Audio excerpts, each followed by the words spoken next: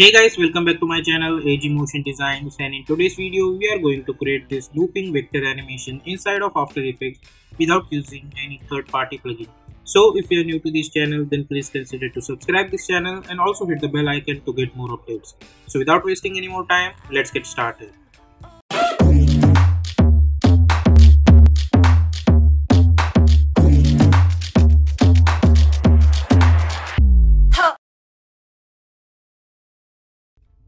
So here we are in adobe illustrator. I got this illustration from freepik.com link of this is uh, available in the description. Now i'll select this hand illustration first.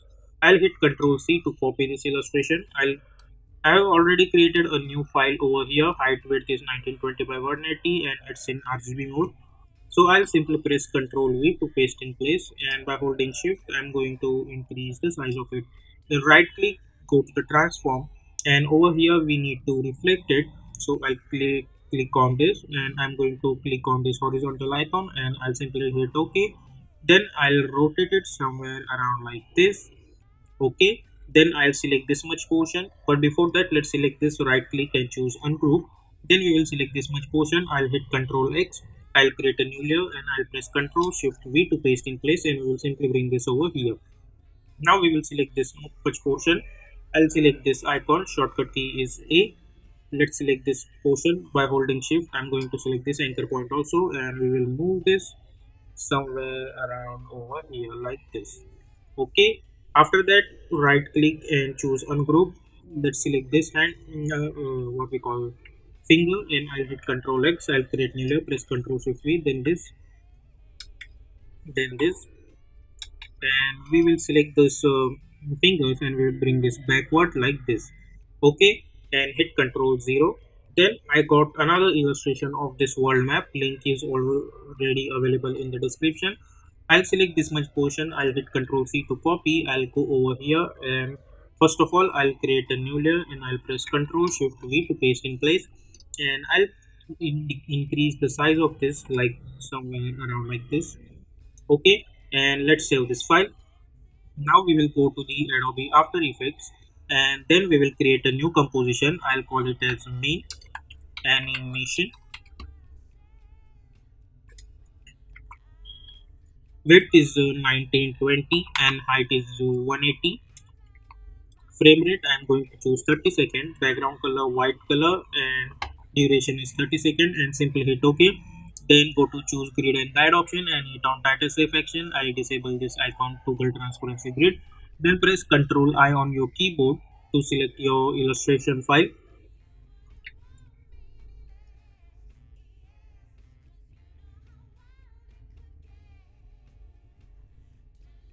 I'll select my illustrator file which is over here. Import as footage composition return layer sizes and simply hit import. And I'll bring my illustration file over here then double click to open this. We will hide this map first because we have to focus on this portion. Then uh, this is my main. So what i'm gonna do i'm gonna select all of them and i'll make it apparent with this hand. Select this and let's move this somewhere around over here. Sorry. Then now we will animate this first. So press p for position. Let's create one keyframe. Go to around let's say one second and create another keyframe go to the start and by holding shift I'm gonna bring this over here. Select those keyframes and hit F9 go to the graph editor right click choose edit speed graph select this and by holding shift I move this handle over here like this. And if you want to increase the duration you can do something like this. So you get something like this. Okay now this is uh, my main hand if you see over here and all other three are uh, what we call fingers then we will select this. I'll press y on my keyboard and i'll bring this anchor point over here like this. Then i'll select all of them and i'll make it apparent with this third layer like this. Go to the start. Select this. Press r for rotation. Let's create one keyframe. Go over here. Create another keyframe. Or you can simply bring this down like this.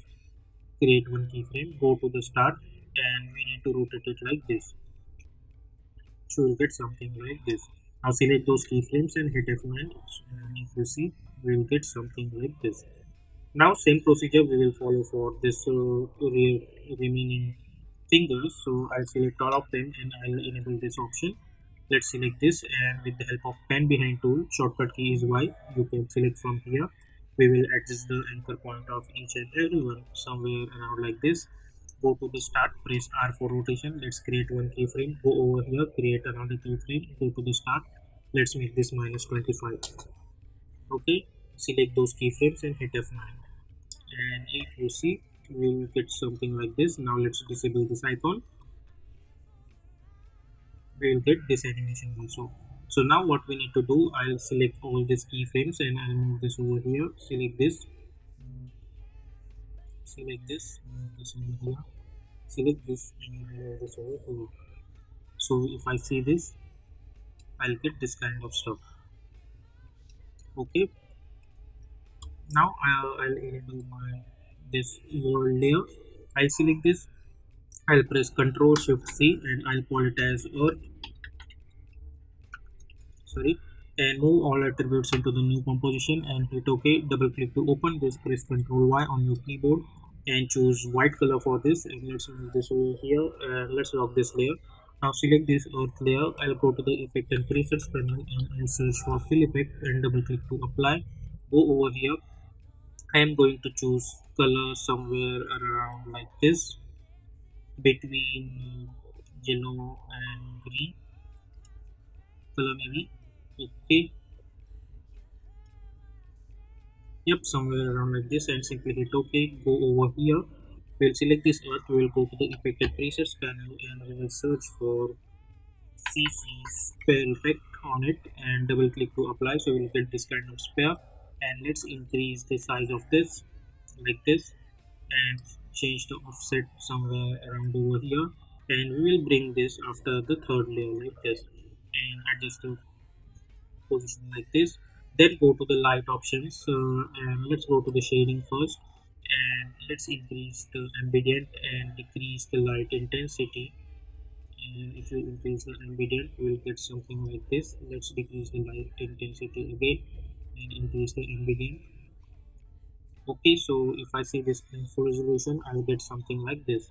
Okay then press ctrl key to select the project settings and background color choose white color and hit ok so if i see this i'll want this and at this point i want this out should start animate so i move this over here like this okay?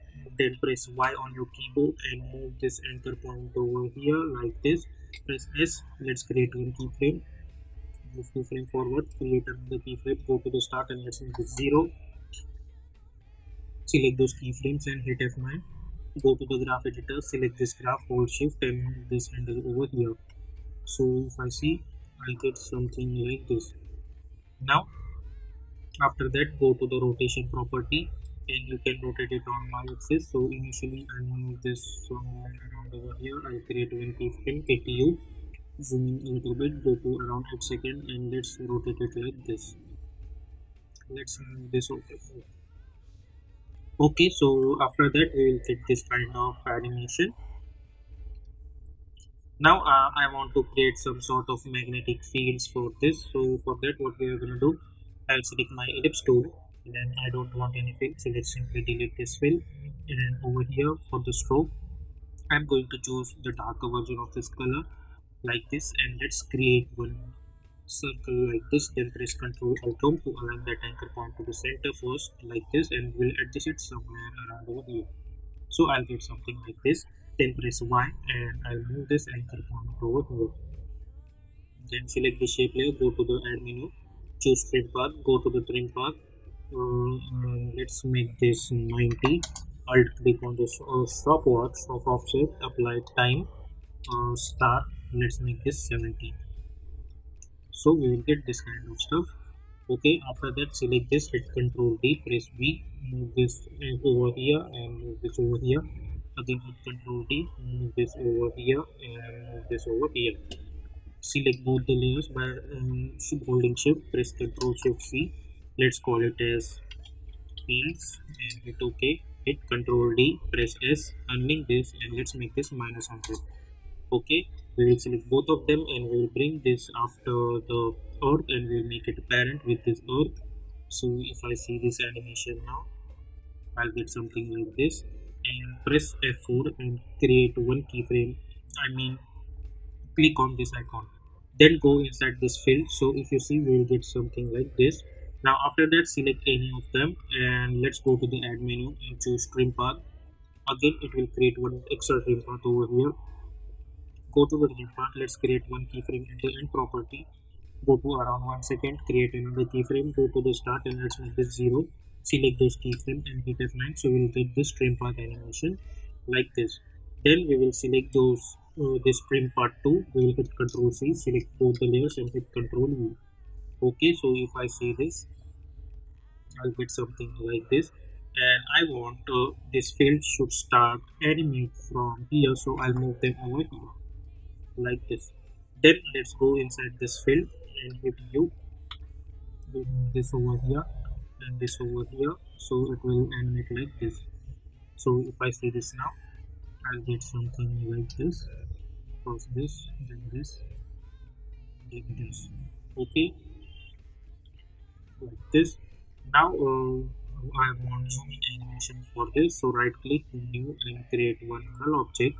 First of all and select all the layers which are not parent with anyone like this layer 1 and this earth layer and make it a parent with this null 1 select this null 1 press p. Alt click on this stopwatch and apply wiggle. Uh, i'll type 3 comma 3 so i'll get this uh, some sort of uh, wiggle expression over here like this. Then uh, select this null object press s create one keyframe or instead of that right click new and create extra null object and select this null object and make it a parent null 2 select this null 2 press s create one keyframe then press p create one keyframe and hit u go over here and i'm going to increase the scale of this until it's going to cover entire this portion and we will move this position of this null object over here like this. Okay then select those keyframes and hit f9 like this. Go to the graph editor select this graph hold shift move this handle over here and sorry move this handle over here. Like this okay? And if you think the animation is quite fast so you can move this keyframe over here also. And uh, you instead of adjusting graph editor like this you can simply hit f9 again to get rid of this graph let's select this graph hold shift move this handle over here. Select this and move this handle over here. Like this. Okay. And now uh, what we need to do let's see. First of all this animation then this and then I want zoom in animation. And let's move this over here a little bit. Now uh, I want this uh, entire animation should be in the form of loop. So for that what I'm gonna do at this point uh, I want the color of this should change. So I select this I create one keyframe in the color go over here around. At this point I want the shifting color so I'll U over here and I'll change the color to the light version of this. And I'll simply hit OK and I'll select this and hit F9 and we will select this color and we will copy the color code. I'll hit Ctrl C and hit OK. Let's go over here first. So if I see I'll get something like this. Okay and now I'll press Ctrl Y. Over here I'll hit Ctrl V. Basically I'm pasting the color code and simply hit OK and hit OK. And we'll bring this downwards like this. Hit U. And now if you see this animation I'll get this and at this point I'll hit N. So I'll get this animation in the form of loop again and again and again. Okay hit U. Make sure that this color and your initial color is same.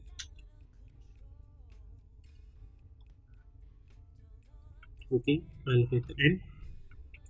Uh, and uh, one thing you need to remember let's go to this earth first and uh, if you want proper uh, looping stuff over here so all you need to do let's decrease the lighting totally zero.